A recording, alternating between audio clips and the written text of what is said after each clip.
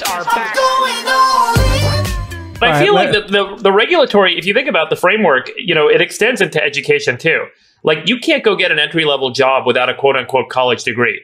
How fucking useful is a college philosophy degree to someone that's trying to get an entry level job working at X, Y, or Z bank, right? Like it's um it's a bit absurd that the structure is set up so that there are whether it's you know government or not, but there is effectively a hurdle, um, which is this alternative to regulatory capture, but it's like call it embedded system, you know, capture. Like uh, there is a significant kind of hurdle that you have to get through that costs a lot, and the, the point of entry has gotten too high for most, and it really stalls things out, and it's going to cause more damage than good.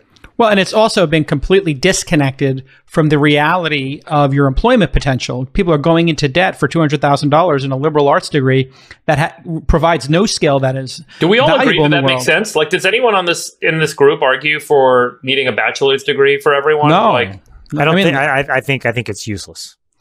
I, I, what do you guys think of ISAs, income sharing agreements? These have become kind of uh, Lambda School does them, a bunch of other schools. You, David, you saw a startup we just invested in that's doing them, and I think you liked them at the demo day we did uh, with Craft. Maybe Right. you know this idea is who should take the risk for an education, and when you look at an ISA, Right. an income sharing agreement, what they're saying is uh, the school takes the risk. They let you come to school for free. They give you what would be the equivalent of, let's say, a fifteen thousand dollar coding camp or growth marketer uh, risk. Then you pay double that amount over five, six, seven years as a percentage of your income. But if you don't get income, if you don't break 50K a year, you don't have to pay it back. And if you decide to go back to school or your income drops below 50, you don't have to do it. Can you imagine if a college had to make that promise? They should do it. They should start in college sports, but they should do it. Imagine you could, you know, Duke basically went and recruited kids and said, listen, we're going to pay you to come to Duke. We're going to get you educate, educated. We're going to teach you how to play basketball better than anybody else. And we're going to take 5% of your future earnings. Yes or no?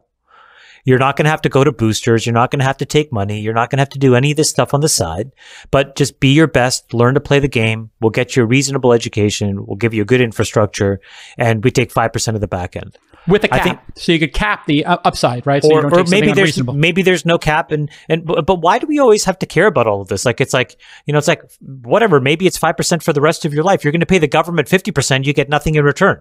So if you pay 5% and you get coach K to teach you how to shoot a jumper it's better than that right so why why isn't it possible and i remember how people had this unbelievably paternalistic allergic reaction to income sharing agreements when they were first talked about They called them indentured servitude, and Modern they compared them to slavery. slavery, and it was Oh like, my God. oh, so insulting to But the it's no concept different. of It's no different than signing a contract with an agent to represent you when you first start out in any industry, music or or sports or uh, film or whatever. One, you could sign an agency agreement where the agent is your rep for 10, 20 years, right? I mean, some of those agreements can have long tails on them, and that's effectively the same. You No, know, look at- And- well, it's- and it's even ISAs worse. had a cap. Look know? at look at uh we we can talk about this in a second, but like you know, did you see what happened with Chappelle the last couple of days where Chappelle Oh yeah, let's go. Did you watch the video? I loved it. Yeah. The video is incredible. Video is incredible. So the the the quick story on this is Chappelle basically did um he had a request. He went to Netflix and he said take down Chappelle show. Netflix took it down. And he did a little stand up. It's on his Instagram. It's like 18 minutes. It's it's fabulous as most Chappelle stuff Peak is. Chappelle. Peak Chappelle. And he basically told this story, which essentially the punchline is like, you know, he signed a contract where he just got completely fucked. And he's like, this is happening every single day in so many markets.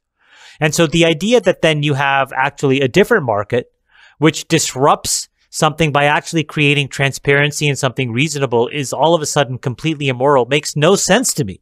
So there's abuses happening all the time. That is what the, the contract that Chappelle signed was indentured servitude. He doesn't even have the rights to his name. He Yeah, cannot they took his name and likeness, right? Yeah, he, He- if he Right, wanted so- to create so- the Dave so- Chappelle so- show again, he'd so- have to call it the so DC this is- show But this I'm is a sorry, perfect. yeah. somebody owns his name? What the fuck? In this is- perpetuity th- in all mediums and platforms this is forever. this is a perfect tie back to the earlier statement about uh, you know do you have the appropriate kind of um, uh, understanding of the risk you're taking or the benefit that you're getting. Um, I think Kanye's been doing this whole thing about he doesn't own the masters to his music originally, right? At the moment that he signed that contract, when he signed over all the masters, you know, the master recordings and all the future revenue rights to his music, he was getting paid a ton of money in his mind at that time. He said, "Oh my gosh, I'm getting whatever it was. Let's say it's five million dollars. I'm getting five million dollars, the most amount of money I've ever seen. It is absolutely worth me giving over the masters of this music and the future royalty rights to this music for 12 songs or whatever it is for me to get $5 million today and I can live an amazing life and it'll change everything for me. Who is to say that he was not, um, you know, of the appropriate sound mind and understanding to decide in that moment to take that $5 million and give up all future royalties to his music? Well, Chappelle's, Chappelle's argument was the people who are in that ecosystem are all friends, they're all working together, and they've commoditized the artist, and they collude to do this kind of uh, And people- upside limiting deals. And I think what makes Silicon Valley so special is that we collude the other direction. We want people to have equity participation, and we want the social contract of Silicon Valley is. I'm giving you equity. I hope your your penny stock becomes worth fifteen hundred dollars, and that you create multi generational wealth, and No, you but- become an angel investor. But I don't know. Look, if I if I'm an angel investor or want to be an angel investor, and some schmo tricks me into investing in his shitty company, and I just lose twenty thousand dollars, but I didn't know how to determine whether that company was shitty or not because I've never done investing before. Read my book. Is it for the government to regulate that circumstance and say, you know what, you need to be a quote unquote qualified investor to be able to discern a good company for a bad company or bullshit from not? And, Well, the, same, and the same for these contracts, right? Like, I mean, so you know, we're making the argument, I think, for the the you know the regulatory framework for preventing people from being able to have freedom of choice. And I think, like earlier, you know, the, the case was made like people should be able to make fr- have freedom of choice at any point. Why should the government kind of step in and make a decision think- for me? I think that there. I'm not. I'm not advocate, advocating for government intervention. My my only point is that there are morally reprehensible things that are happening today using contracts, and that you know something like an income sharing agreement actually rights the ship in so many ways. That's And- definitely the burden of capitalism. Ultimately, it, it, it devolves to that, right? Where, like, oh, you're sick, you're, you have cancer, pay me a million dollars, I'll give you this drug. so Hollywood's a little bit of its own beast where there's all these gatekeepers and the gatekeepers are always trying to get control over, you know, the creative product. And so, yeah, like, you know, signing contracts with those sharks is uh, always a dangerous thing to do. Um, I think Silicon Valley is very different. We have much more of a culture of, of equity. I think the income sharing agreements are much more in that vein. And I think they're a great idea for like any trade that demonstrably increases your earning power, right? So the beauty of Lambda School is they pay for you to get an education being a coder. It then increases your salary and they get a piece of that. That's like a win win for everybody.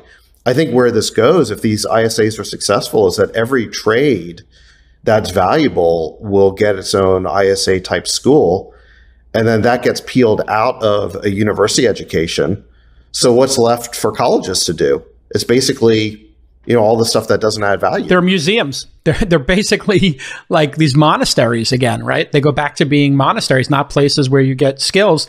we need to sep- we need to celebrate vocational capability because I think like you know we have we have so celebrated this mythical bachelor's degree and it just means fucking nothing. It Yeah. like it doesn't Learn a really trade. al- learn a trade and that's just as res- frankly that should be as respected or more but in, in the American culture you don't do that right now. I've never understood that. If you go for example to different countries around the world, Europe's a good example actually of this um, because it's the closest analog in terms of quality of living to America. There's a real celebration of uh, people who choose vocational tradecraft because there's an entire educational infrastructure that you can onboard yourself into. You can become a skilled person and you can have a really good, decent life. And, And there's uh, pride in the work. and there's pride in that work. And in America, you know, you covet this piece of paper. The piece of paper is really just a scam that allows, you know, administrators to basically pay themselves millions of dollars and or run an asset management business as a, the Trojan horse of that purpose. Um, it just doesn't make any sense. And so, you know, I don't know. It's, I, I just think it's, I just think The most amazing thing about these companies, I've, I've been digging into them because I'm looking for more to invest in, and um, these company, these uh, companies that are ba- the trade schools that are basing themselves on ISAs, and there are ones who are doing welding and plumbing and all kinds of different things, and there are ISA platforms that are providing ISAs to any school that wants them and doing like the sort of AWS of ISAs. Anyway, these um, fir- what this firm told me was inside of one of these trade schools, they spend 50% of their time on placement, 50% on education.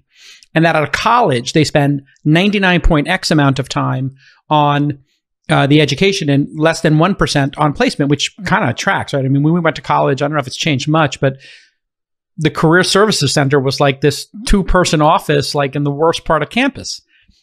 A- And they don't, when you're doing an ISA, if you accept more people who are unqualified and can't, aren't ready for the education or are not motivated for it, it works against you because they're not going to pay back the ISA. So you then get sharper. You know, you sharpen the blade of who gets accepted. You start accepting the right people. These colleges, they would accept anybody who would come in and take the loans. That was your qualifier is did you pass Well- your loan? The ISA as a service idea is a brilliant idea. a I, I would idea. invest in that. I, I like that idea as an investment way better than running one of these uh, schools. You know that that that's basically issuing the ISAs themselves. But how amazing is that? That we live in a country where people are willing to, you know, as a movement now, people are willing to fund your education because they know it's going to increase your earning power, and then they'll get paid on the back end. That's like fantastic. Yeah. And like that's all like happening. All that innovation is happening right now without the government needing to get involved or go- a big government Yeah, loan and- program. And the historical people getting left saddled. People is aren't getting calling saddled it with all indentured this debt. servitude. Literally like the Voxes and the New York Times of the world and uh, it Yeah, but I mean, I think Indentured servitude is having a two hundred and fifty thousand dollar debt that you've got to pay down, and you can never get rid of in bankruptcy for the rest of your life. Yeah, Exactly. that, that's real indentured servitude. Yeah. I think the problem is that, you know, East Coast left leaning um, editorial Elites. publications, um, they have to themselves justify their $190,000 um, bachelor of philosophy from Oberlin College. so, you know, if you if you, You take that, many, you know, Chamath, Oberlin is the number one listener base we have on this podcast. Yeah, Shit. you just lost. Yeah. No, but you're right. Once you've taken out every valuable trade and and moved them from a university where you got to pay a hundred thousand a year to a, an ISA where it costs you nothing, like what's left? It's just going to be people studying Philosophy. Foucault. Oh yeah, people studying Foucault. Intersectionality, stu- intersectionality yeah, studies. they'll, they'll be studying the past. They'll be studying the past.